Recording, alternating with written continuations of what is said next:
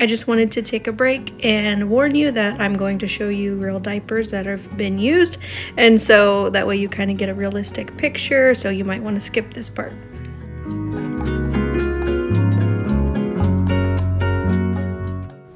So for the first option of how cleaning your diapers, um, you would take either the liner or the pad, or if it's an all-in-one, you would take the whole diaper, dunking it in your toilet and then um, shaking off any of the solids um, and then being able to flush those and then carrying it in a bucket is my choice um, so I don't drip anything on the floor and then pouring them into the wash and washing them as normal. A second option is having a bucket that is filled with water and you just throw the diaper all in together um, separating it if it needs it, and then kind of dunking it. This would be the same kind of concept as the toilet, but your hands are not in the toilet, um, which is could be a little bit you know better like peace of mind that your hands aren't in your toilet. Um, but I mean, you kind of have to get over the fact that you're going to be touching poop.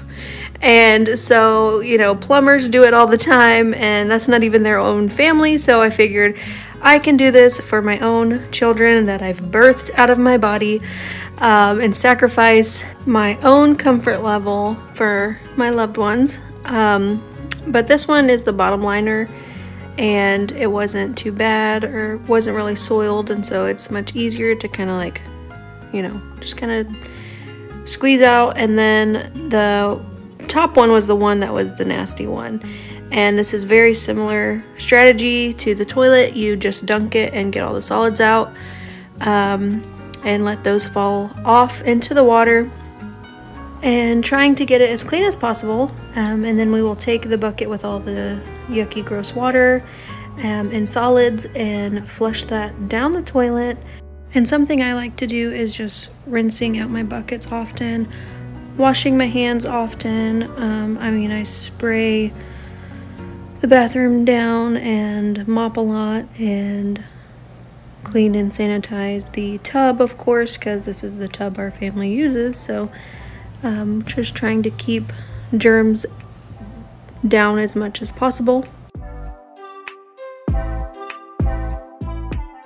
So moving on to washing, um, and you can see I have other laundry that needs to be done.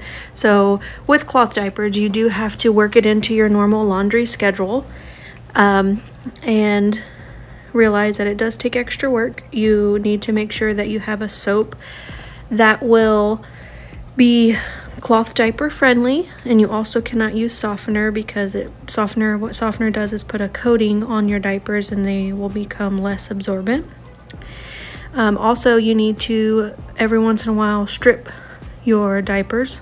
And what that means is you let them soak either in bleach or um, you can use Dawn dish soap and let them sit overnight um, just to help get all the stuff out of it. I love using vinegar to help with odor. So now my diapers are going. I've rinsed out my mop bucket and I put in some OxiClean and washing soda they're about 50-50 mixture and um, I get that all dissolved in some water. And then I will sit it on the windowsill out of reach of our children so that way we don't have a drowning hazard. We have lots of little ones and I don't want them falling in. And on to option number three. Yes, that is poop in the bathtub. Um, the third option, uh, if you don't want to use the toilet or bucket method, you can literally wash it off the solids into your bathtub and the water pressure helps get the liner and cover a little bit more clean than just dunking it into the toilet just from the force of the water. And if you're curious, yes, I actually have Clorox spray that I spray all the handles and knobs that I touch with.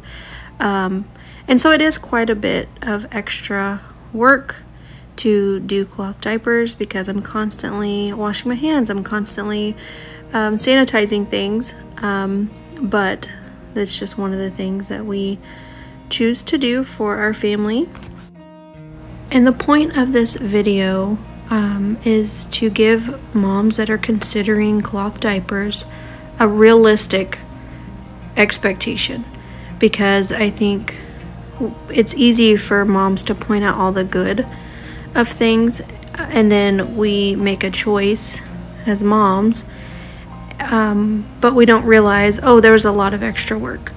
So you know we had to change the laundry soap we used and you have the extra laundry to do on top of keeping up with the laundry in your family so that's extra water bill um, you have to think of the extra soap and cleaning products like sanitizing our tub. I bleach it after every um, time I clean out a diaper.